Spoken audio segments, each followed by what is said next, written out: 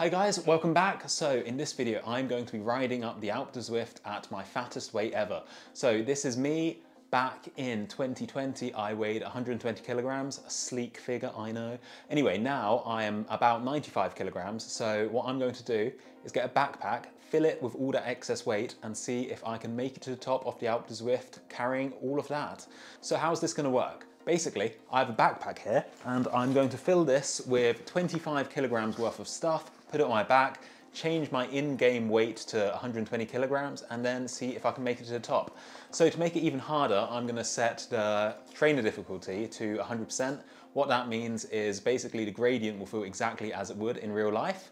So this is gonna be a good one, I feel. So I've done a ramp test very recently, last week, and it gave me an FTP of 263.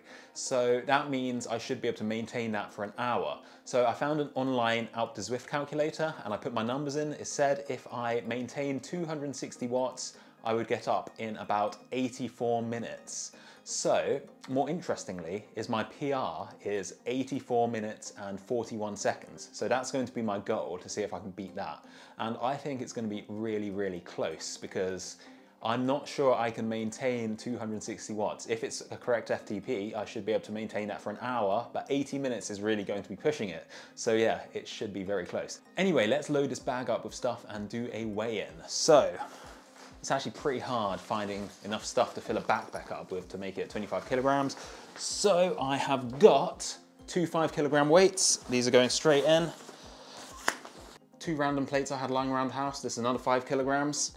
In there you go. Two tiny dumbbells, 1.5 kilograms each.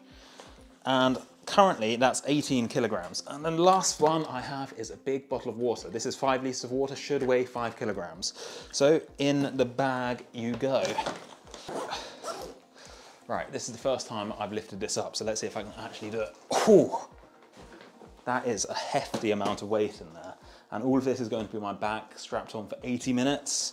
So I'm gonna rearrange this before I do the challenge, just put some towels in there and stuff to make sure nothing's digging into my back. So this is the first time I've put on my back. Let's see how heavy this actually is. Oh, damn. All right, this is gonna be a pretty damn challenging day, I feel. Oh, I can barely walk. All right, let's do the weigh-in. I've got my scales here. So let's step on. There we go, 122.6. So I could actually take some weight out of this bag and it'll be okay. Okay, so I've removed one of these dumbbells, so the weight now should be 121, which is still just over where I want it to be, but that's gonna be fine. I can't really bother to fix it. All right, so one more thing before we get into it. I have a trick up my sleeve. So this is the stock cassette, which came with my trainer and 11 to 28. So because this is such a long hill, I wanted the better gearing. So what I've done is I've swapped this out for an 11 to 34. So that should make my life a lot, lot easier. Anyway, that's it. So I'm gonna chill for the rest of the day, get up early tomorrow morning and smash this challenge. All right, let's see how it goes. Okay, hello guys, this is it. This is the day. So I've just got a five kilometer lead in now. I'm just gonna make sure everything's working okay. Once I get to the base of the climb, I'm gonna put the backpack on, change my in-game weight, and then it is time to do this. So up on the wall in front of me, I've got all my corner times, so I'll know how far ahead or behind I am. So yeah, that's it. I've got loads of um, nutrition here. I've got some Red Bulls, some gels, lots of water. So I'm actually quite nervous about this one. It's the first time I've ever tried challenge and there's probably not a big chance for me making it to top. It's very possible that I could get halfway and be like, I'm done. I don't know how draining having this extra weight on my back will be. So the first goal will be to make it up the mountain in any amount of time.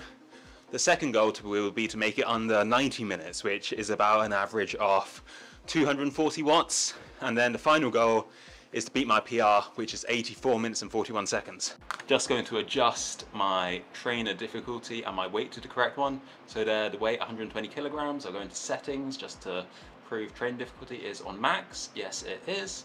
All right, so we're pretty much all set. Let me put this backpack on and then the pain will begin.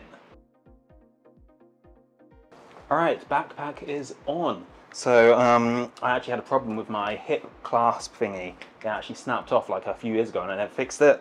So I just had to wrap some electrical tape around it because if you've ever been hiking, you know, you want the weight to be on your hips, not on your shoulders. So yeah, just don't want to go for any unnecessary back pain. So it feels a lot better when it's on your hips rather than your back. Okay, that's pretty much it. all ready to go, ready to endure this stupid suffering. Make the make sure the fans are on maximum blow. Alright, wow. This is it. God, I hate myself for doing such stupid things. God, just standing up on the pedals is painful. Alright, just gonna give this a bit more tightness around the hips. Don't want that moving at all. Okay, let's go. 25 kg on the back. I think it was actually about 23 and a half in the end. Right, there it is, starting line, let's go. So, future Jarrod on commentary here. So, to start off the climb, and I go out trying to match around 260 watts, and at first it doesn't feel too bad.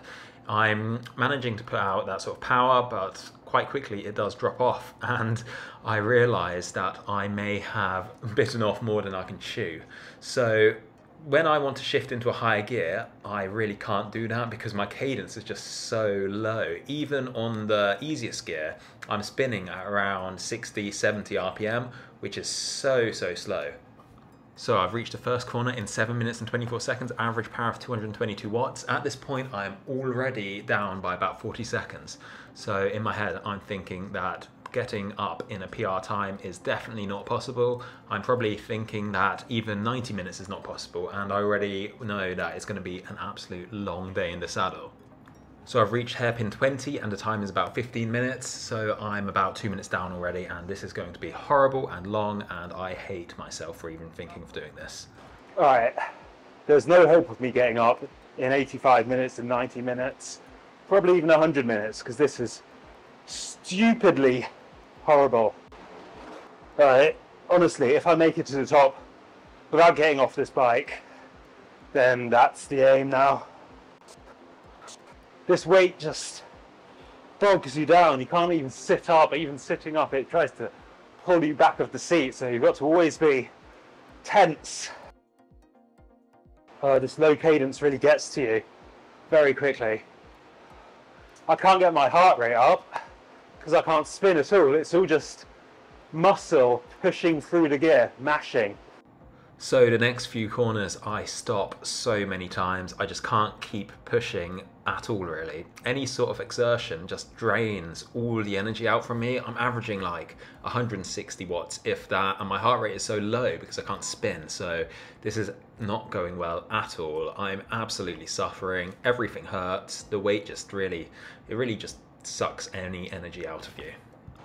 Alright, take a break. But I'm not getting off the bike, which is the key thing. Gonna smash a monster. Oh. I believe I'm about a third of the way up, maybe. This is so much harder than I thought it would be. I really underestimated the difficulty of adding extra weight. Fully caffeinated now, 42 minutes in. Let's set a goal halfway. So that's a third of the way up, 40 minutes. Um, 4, 8, 12, 120 minutes, two hours. Let's see if I can get it under that. So with a new goal of two hours, I have some renewed motivation, which lasts all off about 10 minutes, if that. I'm not giving up. I'm making it to the top of that if it, oh, I don't know. So at this point, I'm actually starting to get cold because my heart rate is so low and the fans are just blowing cold air on me, so I really need to figure out a way to go faster. Oh yes, this is how to do it. It's all about just leaning forward as much as possible. That feels so much lighter. Right. With that new discovery, it's time to push on in the second half. It's not even the second half yet. Ages to go. So I'm definitely the slowest person up the mountain today. I'm averaging about 1.2, 1.3 watts per kilogram, and it's just really taking it out of me. It's just such a drag. Everything hurts, mainly my bottom, so yeah. Okay, 10 to go. Come on. Ah, I can now start counting down the corners. Let's see if I can get up there. Two hours, that's it, that's the goal. One more hour of pain. So I'm around the halfway mark now and I'm really starting to suffer quite a lot now. Really wondering if it's actually worth continuing.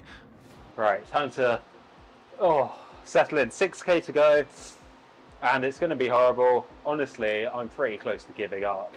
But I just want to make it to the top just to show it's possible. I'm over halfway now, so come on. Oh, I'm stupid for trying this. All right, let's go. So for this whole climb, I spent a lot of time stopped. It's just so hard to get any sort of rhythm going when your cadence is like between 40 and 70. That's really the main difficulty here. The low cadence just means you can't spin. You can't get your heart rate up. You're just using your leg muscles. It's like doing loads and loads of squats in a row. Got just pains everywhere. Everything's digging in. Ah, oh, 4.4 Ks, come on. I have zero motivation at this point. I'm just slogging it out. 90 minutes in now, two thirds of the way done, about four kilometers to go, and this is the point where I just break mentally. Alright guys, I'm not gonna lie, I think I might be done. My bum hurts, and I don't think I can make it to the top, which is very disappointing. Um, I'm gonna take this bag off, set my weight back to what it really is, and then just climb to the top normally as a normal person rather than having this on my back. So yeah, that's it really. All right, so never one to let our Alpe Zwift climb go to waste. So let's see.